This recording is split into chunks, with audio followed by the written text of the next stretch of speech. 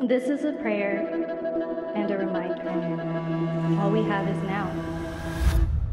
Anak, umuwi ka na. This is a symbol of our voices. If you look at your neighbors around you, you will see who stands with you, who stands for you.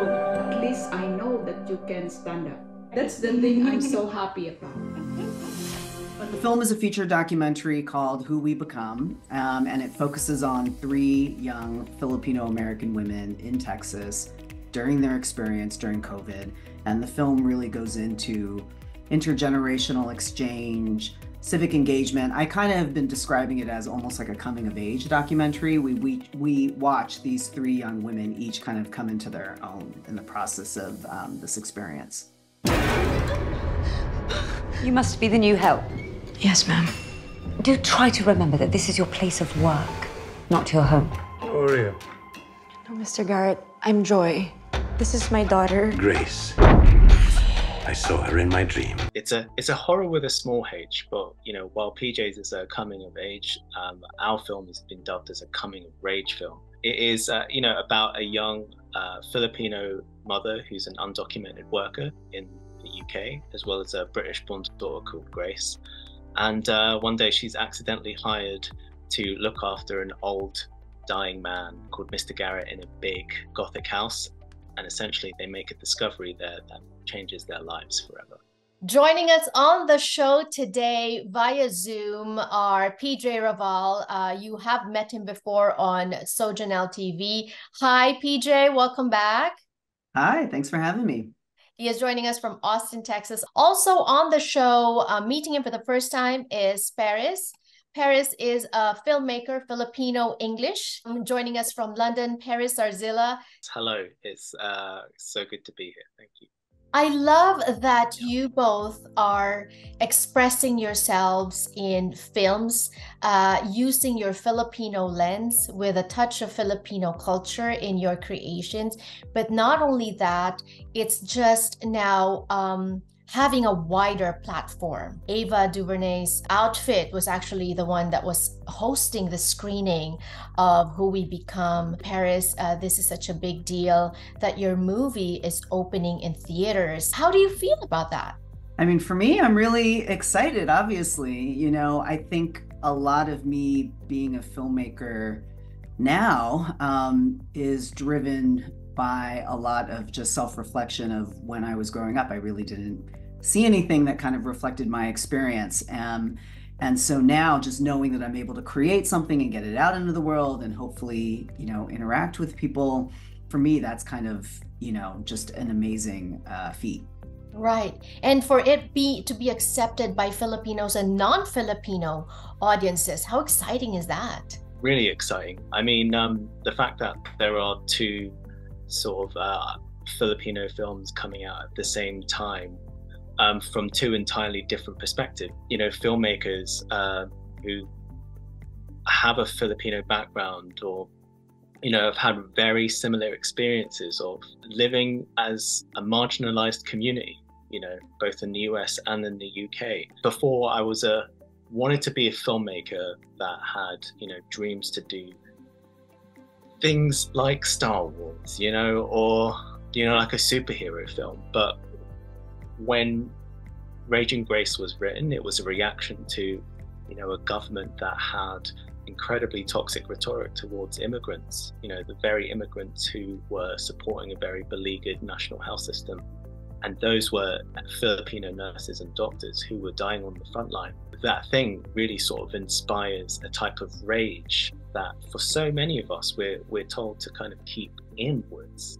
And I felt as a filmmaker, I start to feel the responsibility of trying to put our stories, ones that are often relegated to the background uh, of society, you know, on the main screen, on the big screen. It's only recently that we're seeing this kind of like revolution of inclusion. Did you expect this? No, I absolutely didn't. Like, I wrote this with very specific fear and terror and anxiety about what it is to rail against things like colonialism in the home of colonialism for me, this was a film that needed to express a lived experience, which was one based off my own mother's experience as a you know a cleaner and a, a, a you know a care worker. But the fact that the film has been able to speak to a lot of people's inner rage. I think the thing that surprises me the most is how much it's begun to resonate outside of the specificity of the culture. Mm-hmm. You know, how this has resonated with, with the black community, the Latino community. My heart is very warmed by the response to this. PJ, you, were nodding your head. I, I, I, see that there are parallelisms between yours and Paris' um, journeys as filmmakers. Yeah, I mean, I I've seen Raging Grace, you know, which was amazing, and uh, you know, I think one of the things that really kind of binds our films together is I think they were both made in a very unapologetic kind of way. Kind of interesting, Jannelle you know this idea of saying like well it, you know it's a filipino film it'll be embraced by the filipino community. Not always the case right? Because i do think there's oftentimes uh, this pressure to portray a certain kind of community when in reality uh, as humans right we are complex beings with really complicated histories with legacies of uh, you know colonialism imperialism. And i think what we're seeing now is filmmakers such as myself and Paris and hopefully others, we're interested in really exploring that and unpacking that and showing how that uh, you know plays out in some of these films.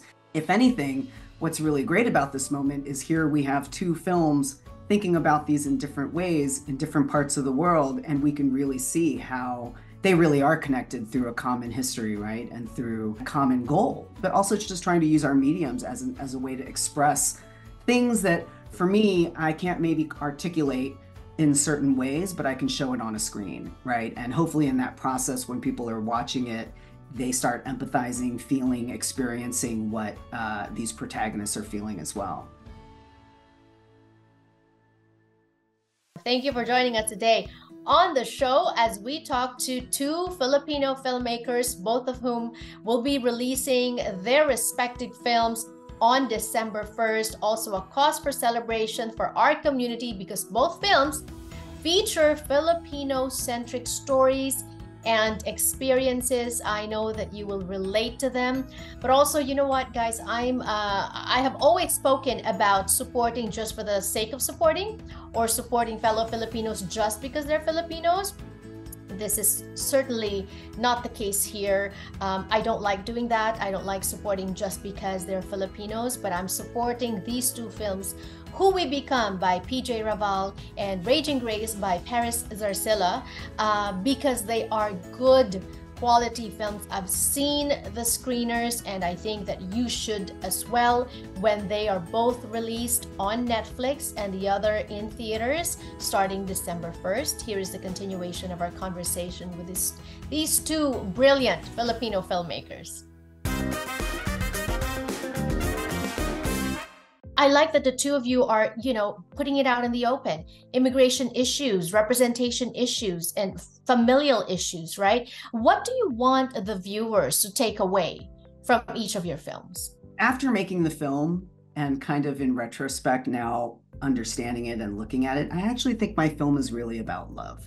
And what I mean by that is I think here we have three protagonists. They're each trying to express who they feel they are, trying to find their place in this world, trying to understand their power as individuals. So for me, that's what I'm hoping people will get out of it when they when they watch the film that they'll feel inspired to live their lives authentically, be expressive and personal and vulnerable with their family members and maybe see the film as a way as as a guide for them. I want this film to be able to be a cathartic spectacle for a community and way in which we can collectively feel angry.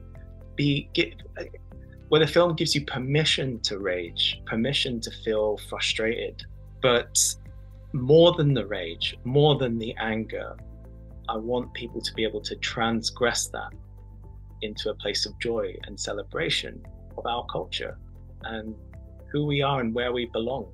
The filmmaking is, I, I believe, going back to one of its objectives, which is to educate, enlighten, encourage, and all that, right? Uh, Paris, you did take a big risk in making films like this that has a voice that's not just not not just to be consumed for entertainment. Did it pay off? Is it worth it? Yes. Yes it is. What i have gone on to really appreciate is what this film has done for people within my community and beyond that you know what it has allowed them to feel having a, an adoptee from you know the Philippines who grew up in the US, uh, adopted by uh, an Irish Catholic family, has a very successful career as a doctor. Never felt like she ever needed to see herself on screen. She was completely content until she saw Raging Grace and felt for the first time that, oh, actually, I do need to be seen. I do need to feel like I belong in a way that I've never seen myself before. And it's those tears, it's it, it's those you know that collective joy in being able to you know see a community on screen maybe in a way you haven't in cinema eh, before has made me made this entire thing worth it there are so many filmmakers. Right now there's a group here in los angeles called Film creative that's composed of different aspiring filmmakers um, directors producers. What would you say to them? Any advice or tips that you can share straight off the bat, what I would tell them is your experience is important, your story is important, it is unique, get it out there. You know, your lens is important, right? And then the next thing I would say is make work. Don't ask for permission, don't wait for someone to ask you to do it. Just be proactive and make work and understand it as a tool of expression and understand it as a way to process the world, the way that you're thinking about things. I think giving yourself the permission to find your own authenticity is something that I wish I heard uh, when I was younger too. Outside of that, I would say you are your own greatest asset and you really do have to look after it. You must look after yourself. You have to know when to give yourself a break. And what that takes from a lot of creators is an extraordinary amount of physical, mental, emotional energy. And you have to know when to save some for yourself. But as uh, you know, PJ says, you know, film is a tool for expression, but it is a tool you have to remember to put down too at the end of the day.